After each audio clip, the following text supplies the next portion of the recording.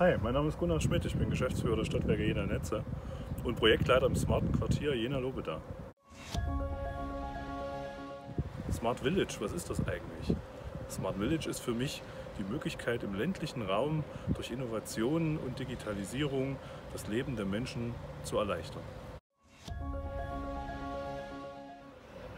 Das smarte Quartier Jena Lobeda ist für uns in der Stadtwerke Jena Gruppe die Möglichkeit, viele neue Themen für uns auszuprobieren, besonders Themen, die für uns auch neu sind, zum Beispiel das Thema Telemedizin, um dort Erfahrungen zu sammeln und damit den Grundstein für Smart City und Smart Village zu legen. Wie verbindet sich die Smart Village Vision mit dem smarten Quartier Jena Lobeda? Das ist ganz einfach. Das ist für uns die Möglichkeit, viele Prozesse auszuprobieren, ohne lange Wege zu haben, die wir dann in das Smart Village übertragen können. Bye.